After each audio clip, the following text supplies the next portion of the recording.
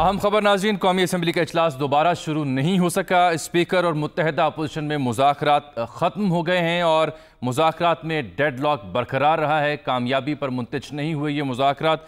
Opposition का बाहम इजलास opposition chamber में जारी है। साढ़े बारह बजे का वक्त दिया था। अब एक बजकर पैंतीस मिनट हो चुके इस बीच अपोजिशन और स्पीकर के बीच मुजाकरात हुए, लेकिन मुजाकरात बगैर किसी नतीजे के ख़त्म होने की इतला है। मुजाकरात में डेड लॉक की इतला है। अपोजिशन अब बदस्तूर सर जोड़कर बैठी है।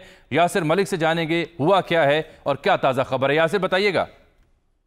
देखिए, अपोजिशन, मुतहदा अपोजिशन जो है, वो स्पीकर चैम्बर से और उनके जो अरकान है, वो वापस आ गए हैं। कमेटी और डेड लॉक इस चीज़ पर बरकरार है कि खुर्शीद जो अपना खुर्शीद शाह पहुँचे हैं, वापस उन्होंने बताया है कि जो अपोजिशन है, उनकी जाने से मुतालबा रखा गया था कि आप गिनती करवाएँ।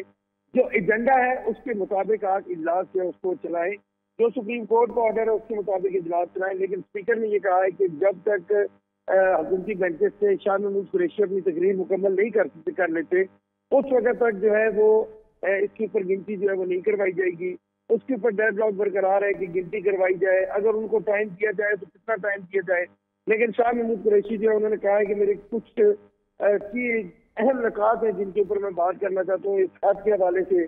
और मुल्क को जो खदशात लाट थे, उसके हवाले से। तो अब उसके ऊपर डेड लॉक इस वक्त बरकरार है।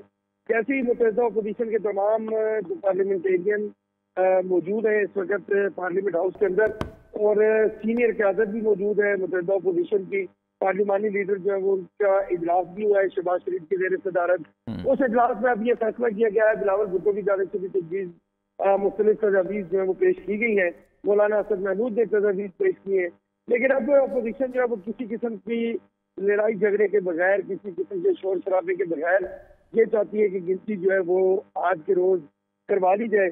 लेकिन अब अभी तक इजलास इसीलिए शुरू नहीं हो सका। कि डेड लॉक जो है बरकरार है। और अगर दोबारा इजलास शुरू होता भी है तो फिर वही शोर शराबा हुकूमत की जानब से। अपोजिशन जो है, उन्होंने ये बिल्कुल अपना इरादा किया हुआ है कि वो किसी किस्म का शोर शराबा नहीं करेंगे।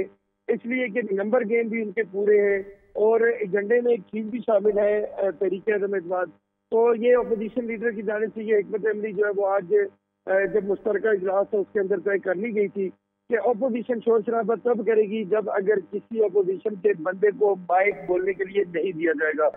जबकि हुकूमती अरकान की तादाद कम है। अब हुकूमती अरकान और आज अपोजिशन का बिल्कुल सेम समझ लें, ऐसी कंडीशन बनी है कि जैसे कभी माजी में अपोजिशन जो है वो शोर शराबा करके बाहर चली जाती थी। अब वही हुकूमत कर रही है हुकूमत जो उस वक्त चले आप यानी ये कह रहे हैं कि अपोजिशन चाह रही है कि गिनती कराई जाए एजेंडे के मुताबिक जो अमल है उसको आगे बढ़ाया जाए आ, लेकिन हुकूमत ये कहती है कि जब तक तकरीर मुकम्मल नहीं कर लेते शाह महमूद कुरेशी गिनती नहीं हो सकती।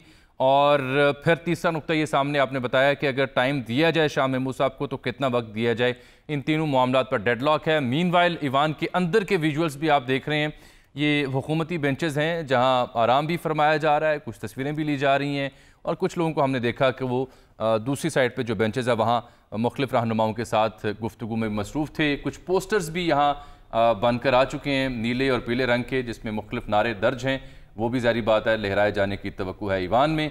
पोस्टर्स आन पहुँचे हैं कौमी असम्बली के अजलास में। सियासी नारों से भरपूर ये पोस्टर्स, जो जैसे इजलास शुरू होगा तो कहा जा रहा है कि इनको लहराया जाएगा। एक